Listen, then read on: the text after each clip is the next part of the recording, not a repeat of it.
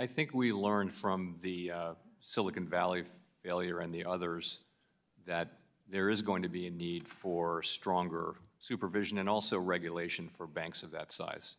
And I'm committed to learning the right lessons from this exercise and to forthrightly implementing But mm, uh, changes. were you aware of the cultural shift?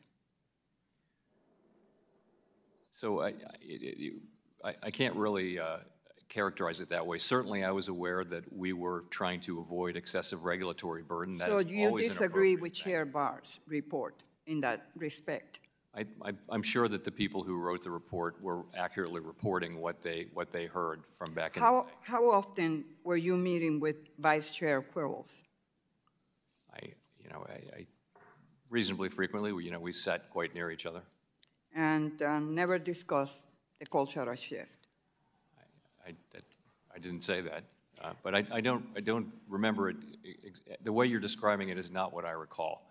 I recall Vice Chair uh, Quarles talking about uh, things like focusing on the really important issues and not getting diverted into other. So the, the way it was described by Vice Chair Barr is not what you recall?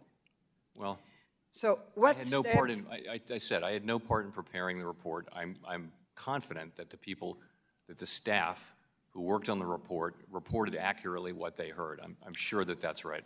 So what steps did you take proactively to meet with regulatory and supervisory staff?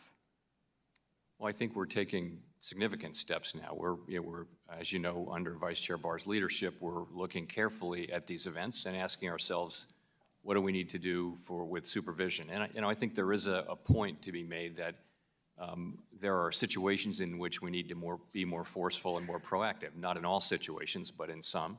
In regulation, I think we're learning that uh, we need to update our thinking around liquidity regulation, which was based on a certain speed of bank runs, which now looks to be uh, outdated.